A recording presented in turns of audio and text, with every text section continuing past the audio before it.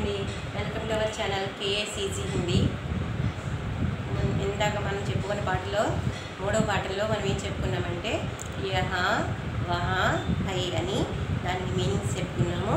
చెప్పుకున్న తర్వాత అట్లా మాత్రం ఏ విధంగా వాడుకున్నాము ఎలా ఉపయోగించాము దాని మీనింగ్ అంటే ఎక్కడ ఏ మాత్రం ఉపయోగించాలి ఏ మాత్రం ఉపయోగిస్తే ఎలా పలుకుతాం మనం చెప్పుకున్నాము మీనింగ్స్ చెప్పుకున్నాక ప్రశ్న ప్రశ్న ఉత్తర్ అంటే ప్రశ్నలు సమాధానాలు కూడా ప్రశ్న ఎలా అడగాలి దానికి ఆన్సర్ ఎలా చెప్పాలి అటువంటిది కూడా మనం నేర్చుకోవడం జరిగింది. ఇలాంటివి మనం కొన్ని రాయాలి కొన్ని రాయండి అని మనం అనుకున్నాము రాశాను అనుకుంటున్నాను. ఇప్పుడు ఈరోజు మనం పాటలో నేను ఇంకా కొన్ని కొత్త విషయాలు చెప్తాం అనుకుంటున్నాను. చూడండి వెళ్తున్నా ఫస్ట్ మై శబ్దాత్ అంటే మీనింగ్స్ అని మనం ఇంతకుముందు పాటలో నేర్చుకున్నాం కదా. చూడండి పార్ట్ ఫోర్లో మై మై అంటే నేను అని అర్థం. ఐ మై నేను. ఇందులో మైకి మనం ఏ మాత్ర వాడామో తెలుసు కదా? ఏ మాత్ర వాడాం మనం? ఐకి మాత్ర వాడాం. ఐకి మాత్ర వాడాం అనమాట ఇది ఈ మైలో ఈ మాత్ర ఐకి మాత్ర వాడాం. అప్పుడు మా ఐకి మాత్ర పెడితే మై అయింది. అది గుర్తుపెట్టుకోండి. మై నేను ఐ. అదేవిధంగా తుమ్ తుమ్ అంటే నీవు యు.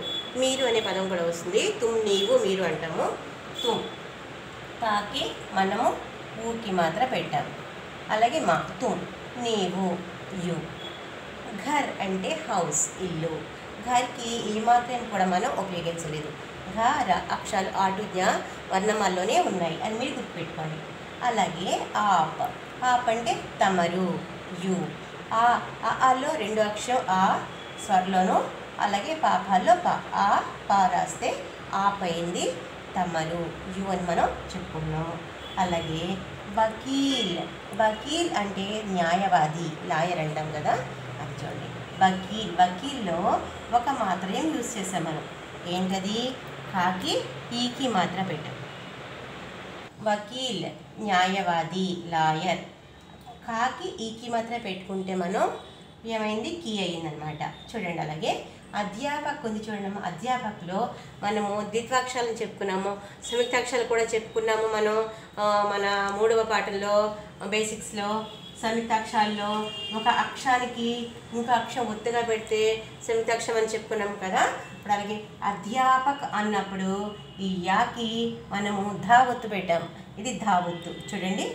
ఇది ధావత్తు ధావత్తు పెట్టాము. అదేవిధంగా ఆకి మాత్రం కూడా పెట్టాము. ఈ యాకి ధావత్తు ఆకి మాత్రం పెడితే అధ్యా అయింది అధ్యాపక్ అధ్యాపక్ అధ్యాపక్ ఉపాధ్యాయుడు టీచర్. అదేవిధంగా భాయి భాయి అంటే మీకు తెలుసు సోదరుడు బ్రదర్. భాయిలో కూడా ఒక ఆకి మాత్రం పెట్టుకున్నాం మనం. ఆకి మాత్రం. ఈ ఈ అనేది ఆ ఈలో స్వరలో నాలుగో అక్షరం ఈ అది మీకు తెలుసు బాగా నేర్చుకున్నారు. అలానే హమ్. హమ్లో ఏదైనా మాత్రం కూడా మనం యూజ్ చేయలేదు. హ మ హమ్ మేము మనము వి. అదేవిధంగా విద్యార్థి. విద్యార్థిలో విద్యాకి చాలా ఒత్తులు పెట్టాం. అలాగే ధీకి కూడా చూడండి. విద్యార్థి. ఈ విద్యార్థిలో దీన్ని రెండు మూడు రకాలుగా మనం రాయొచ్చు. కానీ మీరు ఈజీ మెథడ్ గుర్తుపెట్టుకోండి.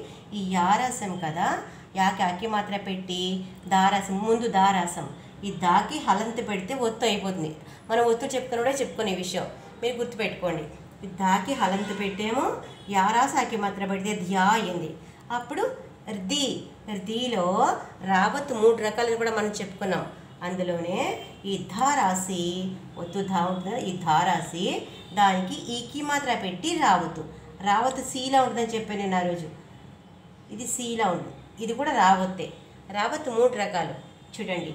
విద్యార్థిలో వి వాకీకి మాత్రం పెట్టాము దా యాకేమో ధావత్తు పెట్టాం అలాగే ధాకి ఈకి మాత్రం ప్లస్ రావత్తు పెట్టుకున్నాం. చూడండి. ఇప్పుడు దా హలంతు పెట్టాము. అదే విధంగా ఆకి మాత్రం పెట్టాము. అలా విధంగా ఈకి మాత్రం పెట్టాము. ప్లస్ రావత్తు కూడా పెట్టాం. ఇది రావత్తు. చూడండి. ఇన్ని వాడాం మనం దీనికి. విద్యార్థికి. ఈ విధంగా మనం గుర్తుపెట్టుకోవాలి. అలాగే విద్యార్థి అన్న విద్యార్థి స్టూడెంట్ అనే అర్థం ఛాత్ర అన్న కూడా స్టూడెంట్ అనే అర్థం. సింపుల్గా రాయాలంటే ఛాత్రని కూడా పెట్టచ్చు. అందుచేత స్పెల్లింగ్ మిస్టేక్స్ ఇలాంటివి చిన్న చిన్న మిస్టేక్స్కే మనకి వస్తూ ఉంటాయి. సో విద్యార్థి మీరు జాగ్రత్తగా గుర్తుపెట్టుకోండి. లడకే. లడకాకి మనం మేము చెప్పుకున్నాం? అంతకు ముందు పాఠంలో. లడక అంటే బాయ్ అని మనం చెప్పుకున్నాం కదా. ఏకవచనం బహువచనం. లడక అంటే బాయ్ లడకే బాయ్స్ ఇది ప్లూరల్ అన్నమాట. లడకాకి ప్లూరల్ లడకే బాయ్ బాయ్స్ లాగా లడక అంటే లడకే అని మనం చెప్పుకోవాలి. లడకే బాయ్స్ బాలురు. అలానే లడికి మనం చెప్పుకున్న ముందు పాఠంలో దానికి లడికియా. ఇది కూడా ప్లోరల్. లడికి ప్లోరల్ లడికియా బాలికలు గర్ల్స్. ఏ లడకేలో కాకి ఏకి మాత్ర పెట్టుకున్నాం. ఈ మాత్ర గుర్తుపెట్టుకోండి. అలాగే లడికియాలో కాకి ఏకి మాత్ర పెట్టుకున్నాం. నెక్స్ట్ యాకి ఆకి మాత్ర పెట్టాం. ప్లస్ చాంద్రబిందు పెట్టాం. ఇవి గుర్తుపెట్టుకోవాలి. ఇన్ని కూడా లడికియాలో ఉన్నాయి యాకి. ఇది గుర్తుపెట్టుకోండి. లడకియా బాలికలు గర్ల్స్. ఈకి మాత్ర ఆకి మాత్ర చాంద్రిది ఏ విధంగా పెట్టాలని చూసుకుని గుర్తుపెట్టుకోండి. లడకియా బాలికలు గర్ల్స్ స్కూల్ అంటే పాఠశాల స్కూల్. అలాగే మైదాన్ అంటే ఆట స్థలము గ్రౌండ్. మైదానంలో కూడా మనం ఏంటి? మాకి ఐకి మాత్ర. ఐకి మాత్రం ఇందాక మనం చూసాం. ఐకి మాత్రం మాకి ఐకి మాత్ర పెట్టుకున్నాం. నెక్స్ట్ దాకి ఆకి మాత్ర పెట్టుకున్నాం. చూడండి. దాకి ఆకి మాత్ర. ఈ విధంగా మనం చూసుకుంటూ వెళ్ళడం వల్ల తప్పులు రావని నేను అనుకుంటున్నాను. మీరు కూడా అదే విధంగా తప్పులు లేకుండా రాయడం నేర్చుకుని సక్సెస్ అవ్వాలని కోరుకుంటున్నాను. ఇంకొకసారి మీనింగ్స్ ఒకసారి రివైజ్ చేసుకుందామా? చూడండి. మై నేను ఐ. తుమ్ నీవు యు. ఘర్ ఇల్లు హౌస్.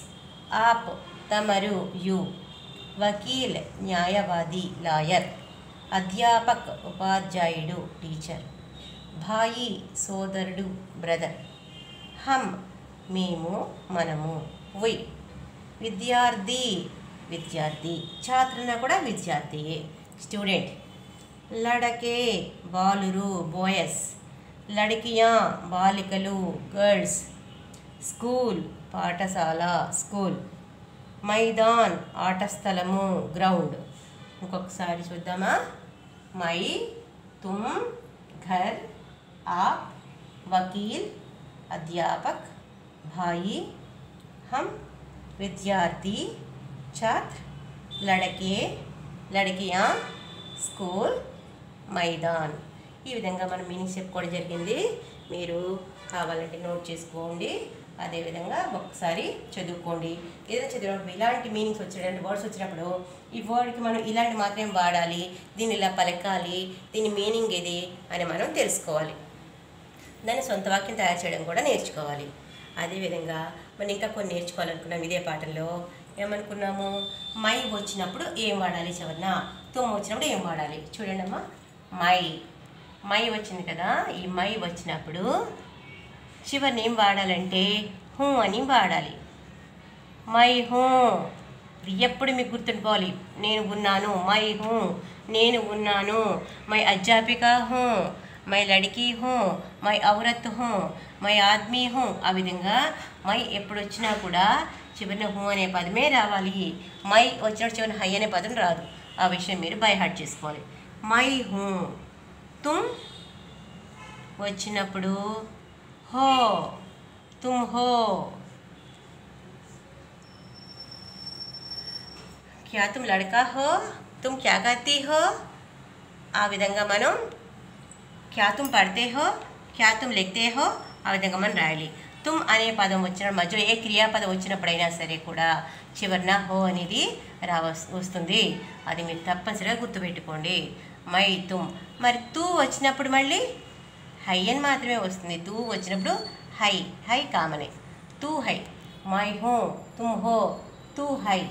అలాగే ఆప్ హై. ఆప్. ఆప్ అంటాం కదా? ఆప్ వచ్చినప్పుడు హై అని వస్తుంది కానీ ఇక్కడ బిందు వస్తుంది. ఎందుకంటే ఆప్ అంటే తమరు అని అర్థం. అది గౌరవార్థక పదం. తమరు వచ్చారండి తమరు రండి దయచేయండి అంటాం కానీ తమరు సింగిల్ పర్సన్ అయినప్పటికీ కూడా మనం గౌరవించే మాట్లాడతాము. రండి అని అంటాం కాబట్టి గౌరవార్థక పదం కాబట్టి ఆప్ అనే పదానికి హై అనే పదం గౌరవార్థక పదం కాబట్టి మనము బహువచనంగా ఉన్నట్టు అనిపిస్తుంది కాబట్టి రండి అన్నప్పుడు బహువచనలాగా అనిపిస్తుంది కదా. అందుకని మనం ఇక్కడ బిందు పెట్టాల్సి ఉంటుంది. రండి కూర్చోండి రాయండి చదవండి చేయండి అని వచ్చినప్పుడు బిందు పెడతాం ఆప్ హై మై హో తుమ్ హో తూ హై ఆప్ హై వహ హై. వహ అంటే ఏమని చెప్పుకున్నాము? వహ. అది వాడు ఆమె దట్టని చెప్పుకున్నాం కదా. దట్ అంటే అది అని. సింగులరే కదా. వహ హై. ఈ హైకే బిందు రాదు. వహ హై. అలానే యహ. యహ అంటే ఏం చెప్పుకున్నాం మనం? దిస్. దిస్ అని చెప్పుకున్నాం మనం. ఫస్ట్ పాటలో యహ వహ చెప్పుకున్నాం కదా. యహకి దిస్.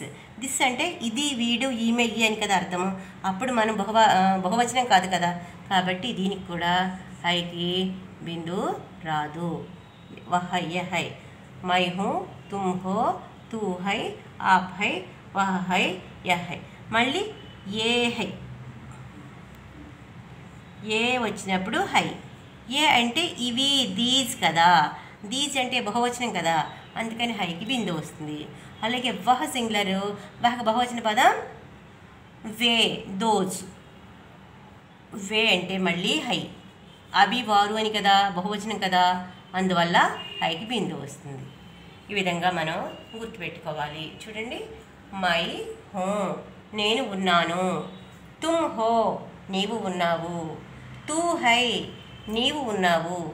ఆప్ హై తమరు ఉన్నారు. వహ్ హై వా వాడు ఉన్నాడు. యహ్ హై వీడు ఉన్నాడు. ఏ హై వీరు ఉన్నారు. వే హై వారు ఉన్నారు. ఈ విధంగా మనం చెప్పుకోవాలి. మై సింగులర్. తుమ్ సింగులరే అనుకోవచ్చు. తూ కూడా సింగులరే. అంటే తుమ్ అంటే నీవు మీరు అనే పదం కూడా ఉంది. ఎక్కువ సింగులర్లోనే వాడతాము. తూ హై. ఈ రెండు కూడా సింగులరే అని చెప్పుకోవచ్చు. ఆప్ హై. అది సింగులర్నే గౌరవార్థక పదం కాబట్టి బహువచనం కింద లెక్క చుక్కబెట్టుకుంటాము వా వహ సింగులర్ కాబట్టి బిందు ఉండదు. యా సింగులర్ కాబట్టి బిందు ఉండదు. వహకి బహువచనము వే. యహకి బహువచనము ఏ. అది గుర్తుపెట్టుకోండి వహకి బహువచనం వే. వహ వే. యహ ఏ. బహువచనం అంటే. ఓకేనా? ఇంకోటి మర్చిపోయాం మనం. హమ్. హమ్ కూడా రాసుకోవచ్చు. హమ్.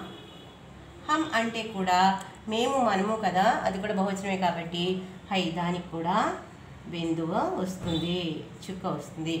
మైకి హమ్ అని కూడా చెప్పు మైకి బహువచన పదం హమ్ అని కూడా మనం చెప్పుకోవచ్చు. మైకి బహువచనం హమ్ అని కూడా మనం చెప్పవచ్చు ఈ విధంగా గుర్తుపెట్టు మై హో తుమ్ హో తూ హై ఆప్ హై వహ హై యహ హై ఏ హై వే హై హమ్ హై. చూడండి ఇంకోసారి. మై హో తుమ్ హో తూ హై ఆప్ హై వహ హై యహ్ హై ఏ హై వే హై హమ్ హై.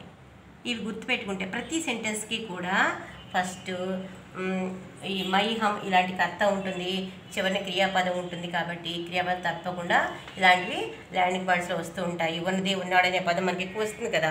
అందువల్ల మనం ఇవి కూడా చూసుకుంటూ ఉండాలి. ఏదైనా ఒక సెంటెన్స్ ఇచ్చినప్పుడు శుద్ధి కేజీ అని కూడా ఇస్తూ ఉంటాడు. రాంగ్ ఇచ్చి కరెక్ట్ చేయమంటూ ఉంటాడు. అలాంటప్పుడు మనం అది కరెక్టా రాంగా అది ఎందుకు రాంగ్ అయింది అని కూడా మనం ఆలోచించాల్సి ఉంటుంది. కాబట్టి మనం ఇవి నేర్చుకుని ఉంటే కొన్ని మిస్టేక్స్ మనం రాకుండా నే రాయగలగడానికి అవకాశం ఉంటుంది. కాబట్టి వీటిని బైహార్ట్ చేసుకోండి. చూడండి అమ్మా ఈ పాఠం పార్ట్ ఫోర్లో మనం చాలా శబ్దార్థాలు నేర్చుకున్నాము అలాగే మై తుమ్ తు ఆప్ వహ యహ ఏ వే ఇవన్నీ కూడా మనం నేర్చుకున్నాము. నేర్చుకుని క్రియాపదాలు మనం ల్యాండింగ్ వర్డ్స్ ఏ విధంగా వాడాలి? హో హై హో ఇవి ఎక్కడ వస్తాయి? అనే పదాలు కూడా మనం నేర్చుకున్నాము. వీటిని మీరు బై హార్ట్ చేయండి. చేసి సెంటెన్సెస్ రాయడానికి ట్రై చేయండి. మీరు ఏదైనా బుక్ చూస్తున్నట్లయితే చదువుతున్నట్లయితే ఇలాంటి వర్డ్స్ అన్ని గుర్తుపెట్టుకోండి ఇలాగే వచ్చే లేదని కూడా మీరు అబ్జర్వ్ చేసుకుంటూ ఉండండి. అందువల్ల కూడా మనకి లాంగ్వేజ్ ఇంప్రూవ్ అవడానికి అవకాశం ఉంటుంది. కాబట్టి మనం రేపు వచ్చే లెసన్లో మరికొన్ని గ్రామర్ పాయింట్స్ నేర్చుకుందాము మరికొన్ని మీనింగ్స్ సెంటెన్సెస్ కూడా నేర్చుకుందాం. ఈ మై తుమ్ తూ వీటితో మనం ప్రశ్నార్థకాలు ప్రశ్నలు జవాబులు కూడా మనం తయారు చేసుకుందాము నేర్పిస్తాను కూడా ఐదో పాఠంలో జాగ్రత్తగా మీరు వినడానికి సిద్ధంగా ఉండండి. నెక్స్ట్ వీడియోలో ఈ వీడియో మీకు నచ్చినట్లయితే లైక్ చేయండి షేర్ చేయండి సబ్స్క్రైబ్ చేయండి. అందరూ కూడా వీటిని ప్రాక్టీస్ చేస్తారని అనుకుంటున్నాను. దయచేసి దీన్ని మీరు బాగా నేర్చుకోండి ఎంకరేజ్ చేయండి. సబ్స్క్రైబ్ చేయడం మర్చిపోకండి. Thank you good luck